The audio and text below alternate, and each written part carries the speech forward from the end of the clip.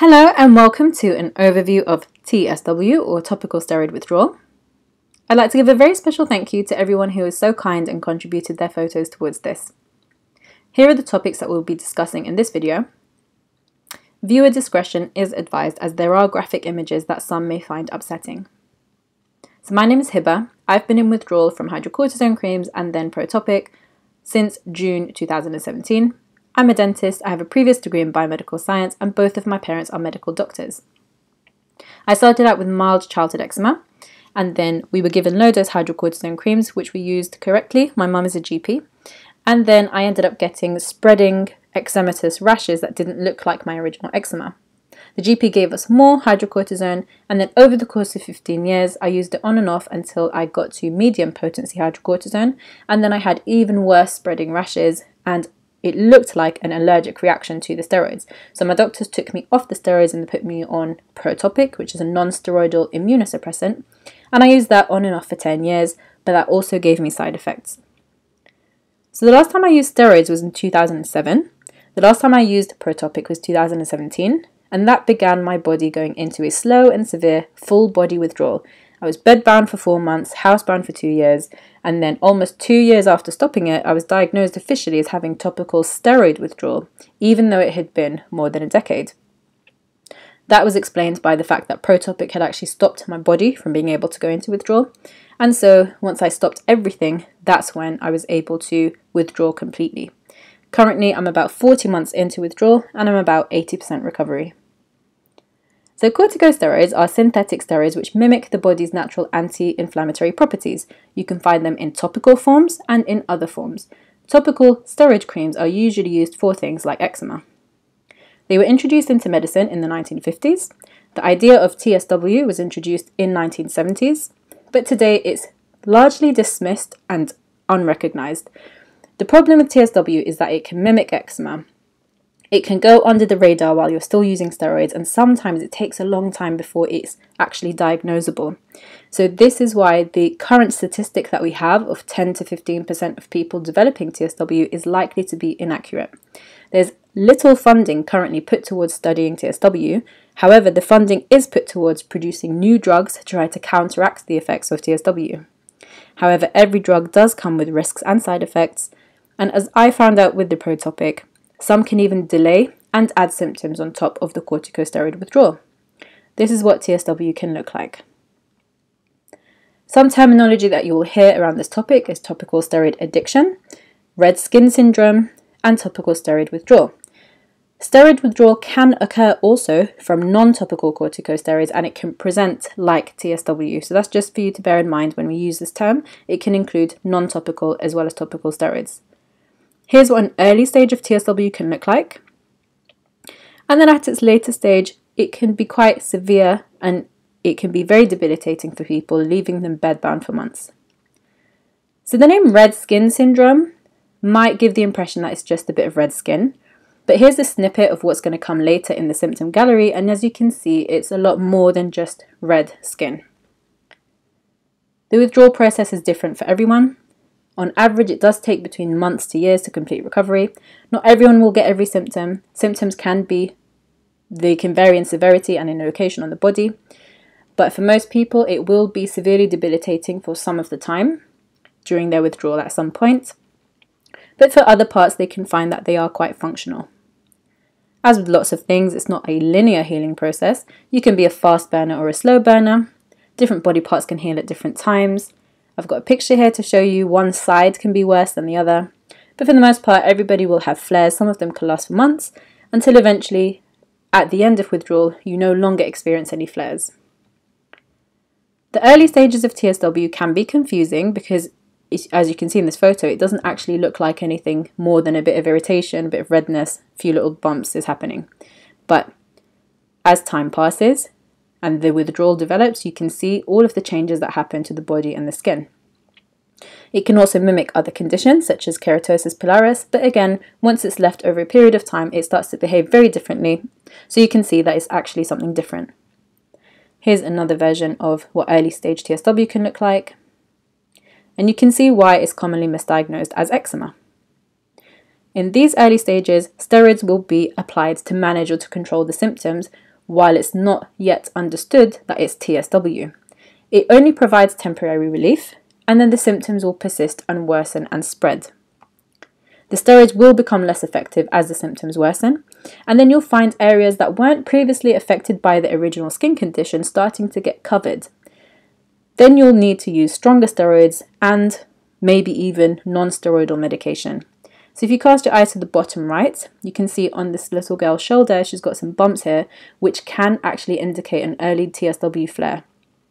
So I'm going to show you what it looks like when these bumps do progress from early stage TSW into a full-on flare.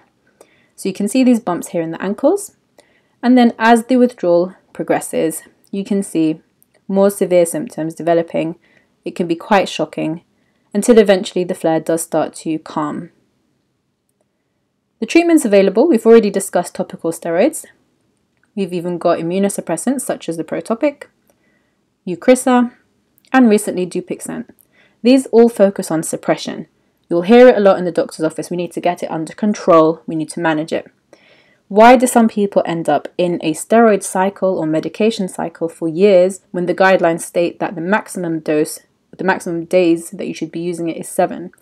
There's a line that says, unless the physician directs otherwise. And so, because of all the reasons we've already discussed, when it's considered to be eczema and if it looks like the steroid creams are working to help the eczema, to provide relief, that's why people can end up getting prescribed the same creams for years on end, even though it can take just weeks for the body to go into TSW.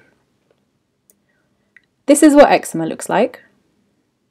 The side effects of the treatment, which is the topical steroids, can include making the original skin condition worse and spreading. So essentially, if you put steroids on eczema, you can create eczema on steroids. This is what it can look like. Again, it can mimic and worsen, it looks like worsening eczema. This can even happen in people who haven't had any history of eczema. So, people who have used topical steroids for things like an insect bite, who've used it for sunburn, who've used it for cosmetic reasons, or who've applied it for their children and they themselves do not have a history of having had eczema. But then once you've let the withdrawal take its course, you can see over time that it starts to clear by itself. Here are some other examples of eczematous type rashes in TSW clearing without any medication. So here are just some examples of when people have ended up in TSW because they've used topical and non-topical steroids for these different reasons.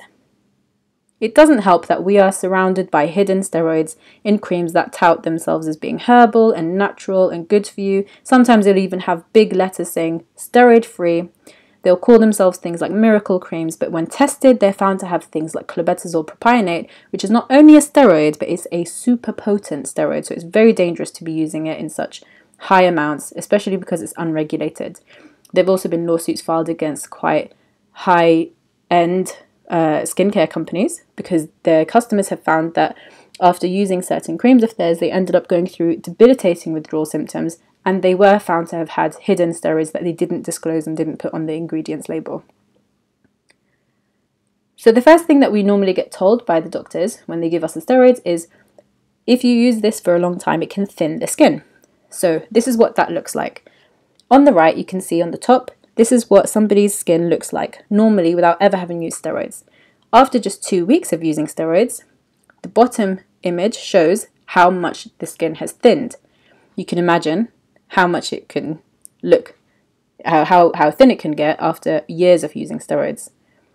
Another part of atrophy is lichenification, elephant skin. And this is thickening and deep wrinkling of the skin. It is temporary, and as you can see on the bottom right, it does resolve upon recovery. And there's some more examples on the next screen. Extreme dryness, shedding, flaking, tightness, cracking, and peeling is all something to be expected in TSW with no exaggeration. You can see the footprints in the photo on the left, surrounded by skin flakes. You can see in the other photos, skin flakes can be small, they can be large. There's lots of dryness, it can be quite severe flaking as well. And interestingly, if you have a look at the images on the right, although the skin looks drier in the first image, there's a six month difference between the first and second photo, and no moisturizers were used at all during this entire period of time, yet the skin looks more moisturized. And here's just some more healing that's occurred. The skin can also crack, which is very painful, and it can make it almost impossible to use your hands because every time you bend your fingers, they can crack. You can also get snake skin on the lips, which is thickened skin, hard, plastic like skin that just sits on your lips and then no moisturizers can penetrate. TSW essentially is a vascular or a blood vessel issue. So these thermal images are not of the people who are in the photos down below, but it's interesting that they act as a map for areas which are typically affected by TSW. This is because the areas in the body with more blood vessels are warmer, so they show up on thermal imaging as being red. The other areas that show up as red are beneath the breast, around the belly button, around the thighs, and in the groin region, and these are all areas that are heavily affected in people with TSW. Here are just some other images so you can see how it looks in other people. And on the left you can see the clear nose and lips and mouth and the chest of the little boy and it looks exactly like the thermal imaging. And then we've got a before and after of somebody who's in TSW and then when he's recovered. Here's another example as well. You can actually map the outline of major blood vessels and lymph nodes by looking at where the redness and swelling occurs in somebody in TSW, and especially in places like the legs because they are very vascular as well. This also happens around the eyes for the same reason. And areas which were once clear can start to fill in with redness and hyperpigmentation as the withdrawal runs its course, so it's not uncommon to find people literally covered from head to toe. It can mimic and act and feel like sunburn. And a very typical feature of TSW is something called red sleeves. It literally just looks like red sleeves with a demarcation along the wrist and clear palms. And here's a before and after. Some people do get symptoms on their hands, and this is just some examples of how that can look and this resolves upon recovery as well. So as we mentioned earlier, not everybody goes just red. So where you have red sleeves, you can also have black sleeves and brown sleeves and purple sleeves and tan sleeves and grey sleeves and red sleeves in people of colour. This also happens at the feet and ankles. It looks how it behaves at the wrists and the palms with the demarcation. And interestingly, most people actually haven't had any pre-existing skin issues in these areas, but they tend to be very badly affected during TSW. And here are just some different people, different skin shades, so you can see a variation in redness and hyperpigmentation during TSW. The hyperpigmentation happens because you have an increased production of melanin cells when there's inflammation. It's not scarring, it's not permanent, and it does disappear after TSW just like the redness does. Here's just some examples of how it can look in people's backs. And then on the right here, you've got somebody at 10 months and then again at 21 months of TSW. You can have hypopigmentation, and this normally happens in areas where there's lots of scratching. And you can actually map out the blood vessels by looking at the pattern of the redness and hyperpigmentation on the face. And you can see that on the right, the nose is clear, and this is something really common. People nickname it the reverse Rudolph effect, and it's just due to the position of the blood vessels. So let's have a look at the blood vessels and let's have a look at the patterns of the redness here. So you can see it matches up. We've even got a triangular redness here, which matches the veins around the eyes. And then you've got the line on the forehead too. So you really can quite literally map out the blood vessels if you look at the pattern of the flares and redness and hyperpigmentation in someone with TSW. Again, if you have a look at this area here, you can see the nose doesn't have the same vasculature as the rest of the head and neck. That's why it tends to stay clear. And then if we have a look at the back of the head, this area is actually rich in blood supply and lymph nodes, and it tends to be a very problematic area for people in TSW. Here are just some before and afters to show you that it does disappear without a trace. This total withdrawal time was 27 months. So, the way that hydrocortisone works is by constricting the blood vessels. This shrinks it away from the surface of the skin, which reduces the appearance of redness and it reduces inflammation. Now, in TSW, the blood vessels dilate, and then the fluid from inside the blood vessels, which is the plasma, leaks out of the blood vessels and it collects as swelling, as edema. And it can also leak out through the broken skin as oozing. You can see as another example of that here, where the edema is happening underneath the skin, but that's been compromised through uh, skin atrophy. And then when there's been scratching and rubbing, the ooze will just leak out.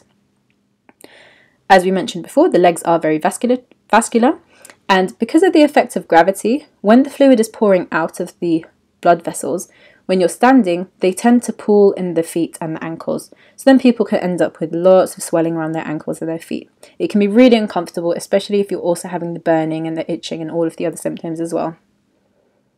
But like all of the other symptoms so far, it does recover.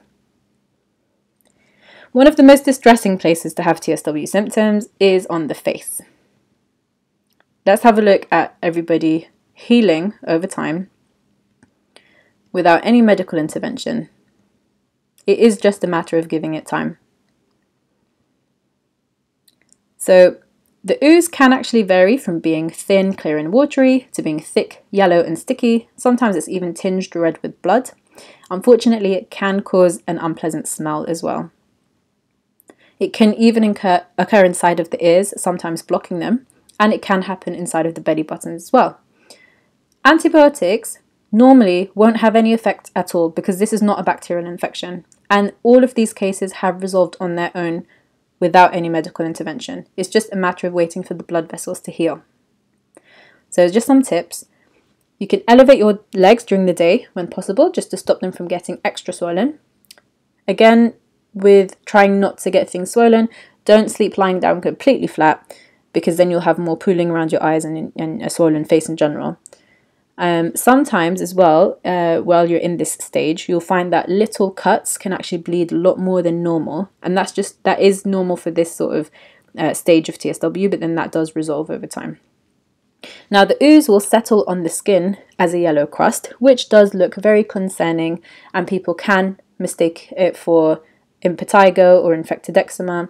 It will come back with elevated staph levels, because we, it's in our normal flora anyway, and people who do have compromised skin in certain skin conditions will usually have high levels of staph.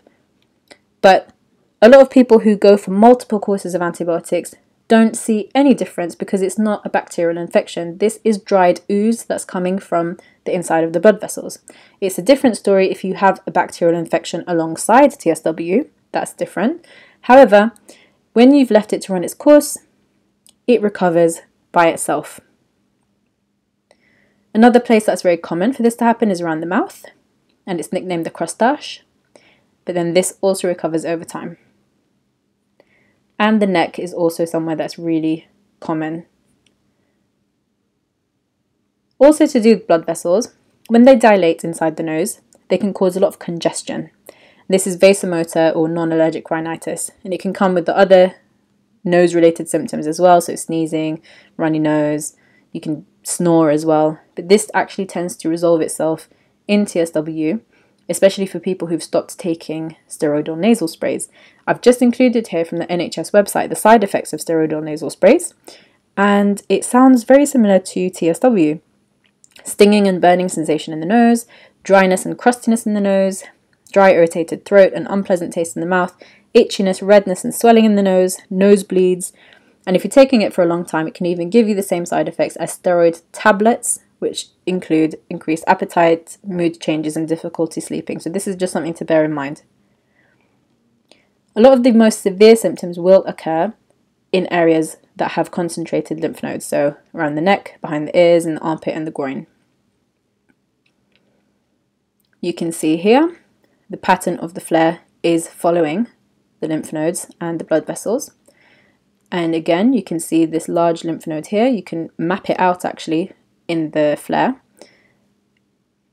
And then even underneath the jaw, which tends to be a very problematic area for a lot of people. Around the ear is somewhere that is really problematic. And then you have on your face as well, and then underneath the jaw, that's another example.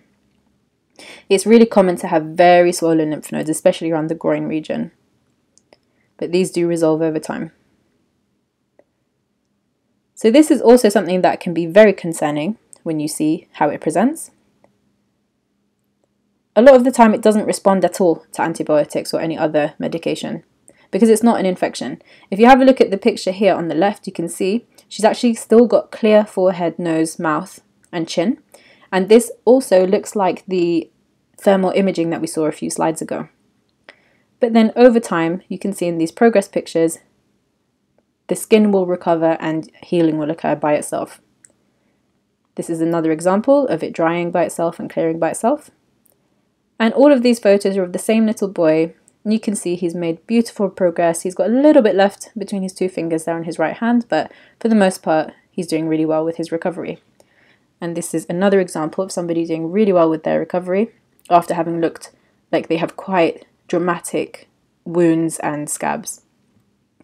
This would be a good time to talk about infection. So, it can be difficult sometimes to differentiate between TSW and infection, but there are some ways that you can do this.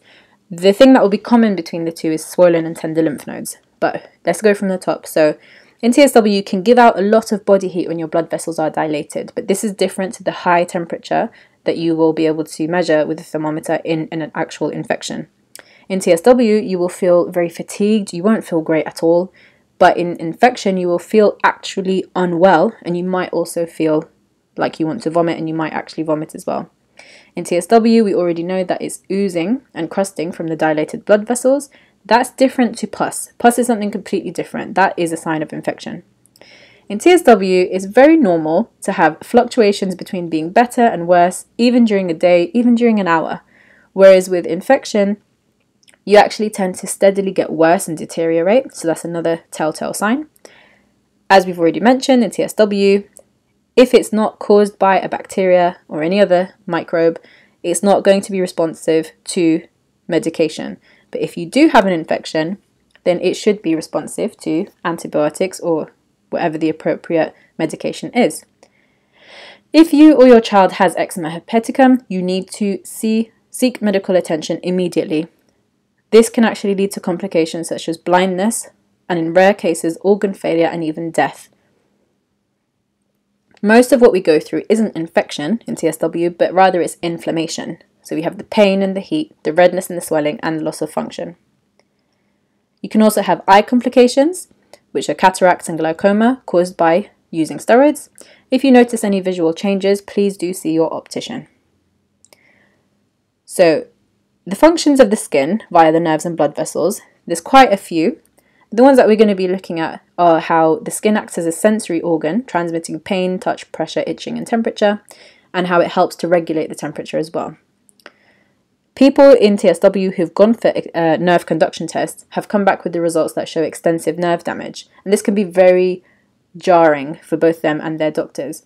But when you consider that we have more than a thousand nerve endings per square inch of skin, and that they are in such close conjunction with the blood vessels, as you can see in the photo, you can see why there's a lot of symptoms that we feel that are to do with nerve injury.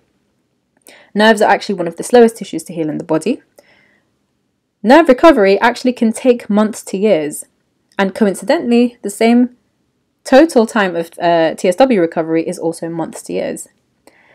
The bone deep itching is not to do with histamine, it is to do with nerve injury. That's why you feel like you want to claw your entire flesh off. It's a nerve thing. Also, the bugs crawling on the skin, that's to do with the nerves as well. Feeling hot and cold, overheating, being really cold, thermoregulation issues, again, to do with the nerves and the blood vessels. The burning in TSW is to do with the nerves and the pain. The zingers, electric shock type feelings, pins and needles and tingling. And being numb, that can happen because of nerve injury or because of the excess fluid pressing on the nerves. But either way, it's to do with the nerves. You can also have excessive or too little sweating and muscle twitching and shaking.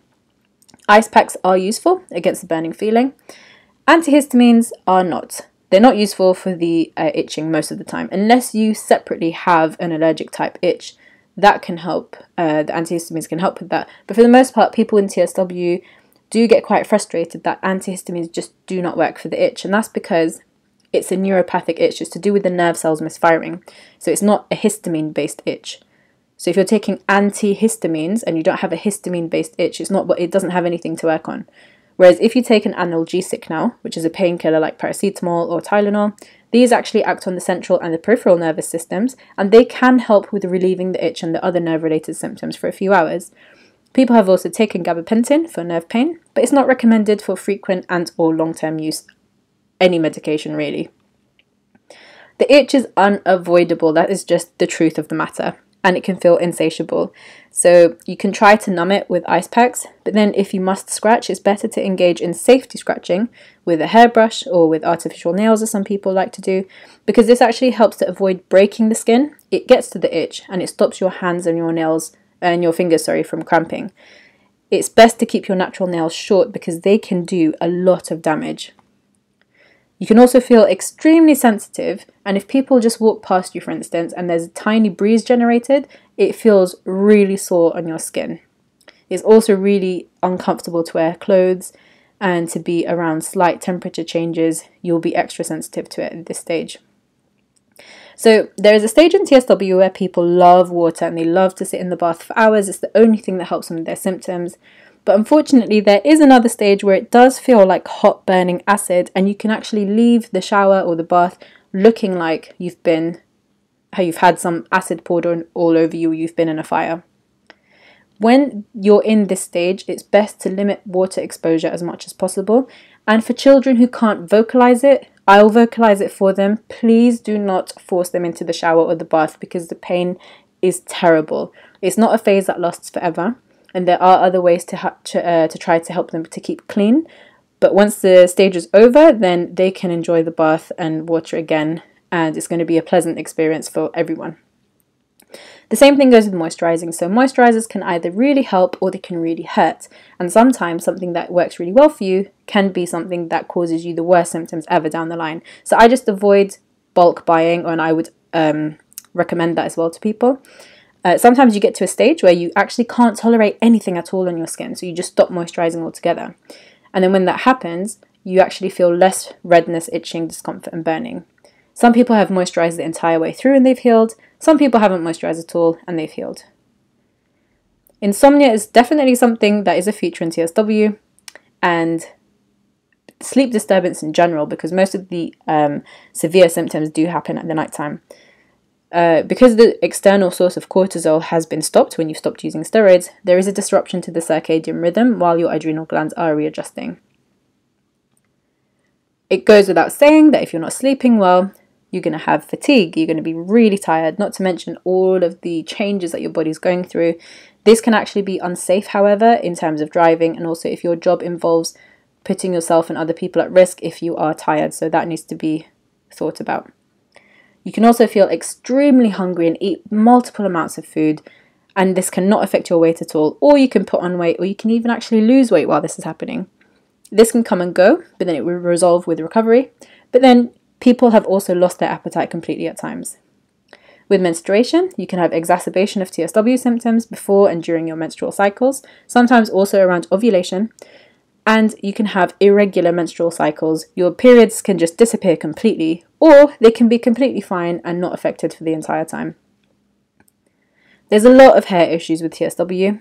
If it's not because the actual hair is getting thin and falling and you're getting bald, and you have a change to your curl pattern and the hair is breaking, it actually can be sometimes because the skin on your scalp is so compromised that the hair just falls out with it. It's really difficult to actually maintain your hair when your hands are so affected. And then you'll find the common patterns of receding hairline, and then you'll lo- lose your eyebrows and your body hair. Not everybody, but most people do. And then some people do just prefer to shave their heads completely bald because it's easier and probably more comfortable that way if your scalp is affected. Hair does grow back. So, some of the later stages of TSW People report having hives quite a lot. And also in areas where your skin was quite affected by the TSW flares, you can find large pores, but then these do shrink over time. You'll also find lots of whiteheads collecting in areas where you might have had oozing, but then again, this resolves upon recovery. And needless to say, after seeing all of that, I don't think it's surprising for anyone if I say that it is something that's very difficult for your mental health it is something that is so mentally taxing. Not to mention the emotional side, the physical side, just it's a lot to deal with for both the people who are going through it and their loved ones around them. It doesn't help that they, there is a severe amount of gaslighting that we receive from medical professionals when we are exhibiting all of these symptoms and we are blamed for them. We are told that TSW doesn't exist. We are told that we need to use more steroids. And what can happen a lot of the time as well is unfortunately when children are going through TSW, the authorities can intervene and remove them from the home because it seems to be neglectful parenting as they are not uh, agreeing with the doctor's treatment plan. Even though it's the treatment that has brought them to where they are in the first place, but it has happened where kids have been taken off their parents, so that is really difficult. Relationships have a huge strain on them if they last, a lot of them do break apart. Um, it's possible to go through the five stages of grief more than once, even if you've reached acceptance before because TSW is just so uncertain. And sometimes when you think you've come to the end, you have another flare all over again. There's a lot of guilt that can be felt by parents for taking their children to the doctors and for having the steroid creams put on them in the first place. But you are just doing what a responsible, loving, and caring parent would have done by taking your child to the doctors and listening to their advice. So do not be harsh on yourself. Also, it's really difficult to be able to make any plans because you just don't know when you're going to flare again. It can lead to depression, even suicidal thoughts, and just not being able to recognize yourself physically and mentally. It's a lot for someone to deal with. So let's have a look at some examples of TSW. It's normal for babies to have rashes. I so a lot of people um, worry when they see babies and they've got rashes and they want to just have something to put on them to get rid of the rash straight away. But babies can literally be born with rashes. As they're discovering the world, they can have rashes pop up and it goes away. As they are weaning and trying solid foods for the first time, they'll have rashes and then they'll go away. It's normal. It in the terms of uh, dribble or drool rash and uh, nappy rash, it's much better to avoid them from happening in the first place such as using a barrier or wiping away the body fluids, rather than controlling it using a steroid. Because for babies and in their face and the genital region, these are three categories which steroids should not go anywhere near at all. Let's have a look at what happened in a baby who had mild eczema patches. You see these two little eczema patches on the torso before using steroid creams. So he was given steroid creams to uh, treat these patches, and this was the result okay? You can see the skin changes, you can see all of the rashes. In the middle picture, look at the hands with the pooling blood. He did make a recovery, but it's something very traumatic for himself and his family to have gone through. So this is why awareness is needed for TSW. So in the case of this toddler, he actually didn't have any skin conditions. Uh, he didn't have eczema or anything like that. What happened with him is that he went to daycare and then all of the kids came down with a viral rash and they had a fever and everything. His pediatrician actually put him on quite a high dose hydrocortisone uh, to begin with, and then after he used it for the designated time period, he ended up getting TSW symptoms. Then he was given triamcinolone, and then after stopping that, he ended up deteriorating. He was shaking and he was feeling very cold all the time. Because of croup, he used a dose of prednisone, which is an oral systemic steroid, and this was the result. You can quite clearly see this is not eczema. And then he began his recovery upon stopping steroids. This is 19 months since stopping. You can see in this dog, she's exhibiting all of the symptoms of TSW. And let's take a look at this dog as a case. So as a puppy, he had an itchy rash, which would go away when the vet gave them a steroid shot, and then it would come back worse than the first time and it would spread. So this happened multiple times before the owner eventually stopped taking him to the vets. She knows somebody who went through TSW and so she realized that it looked and sounded a lot like what he went through. Once she stopped taking the dog to the vet and he didn't have the steroid shots anymore, his itching worsened, his legs sw- uh, got swollen to twice their original size, and he developed open wounds and crusts, and he also had adverse reactions to water. Sounds familiar? But he did make a complete recovery after several months. And here's an example of TSW from non topical corticosteroids. So, this lady actually did have eczema, but she never used steroids as her mum controlled it with diet. Then, as an adult, she had a bike accident and then she had steroid shots put into her shoulder. Shortly after that, she was diagnosed with having arthritis, which was then treated with eight weeks of systemic steroids. And then after that, unfortunately, she had an eye infection, used steroid eye drops for five days, and exactly five days after stopping them, she had TSW, as you can see in the photos. She tried to clear it with diet, as she was used to doing from when she was young. It didn't work. So, for the first time in her life, she was given topical steroids over the phone by a doctor, medium potency.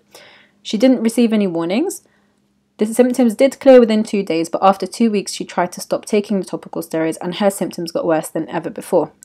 After a few months, she ended up getting this infection. When she visited the doctor, they wanted to give her more steroids without taking a swab. And when she tried to tell them about TSW, she was dismissed as that being nonsense, it doesn't exist. And then after she stopped taking the steroids, she got even worse than she ever was before. Currently, she's at around 14 months of withdrawal and she has been left with dryness and elephant skin, still in recovery but much better than before.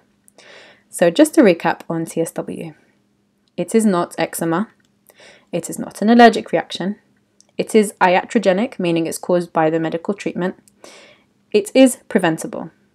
It can be severely debilitating, taking months to years to clear completely, but the good news is that it is temporary.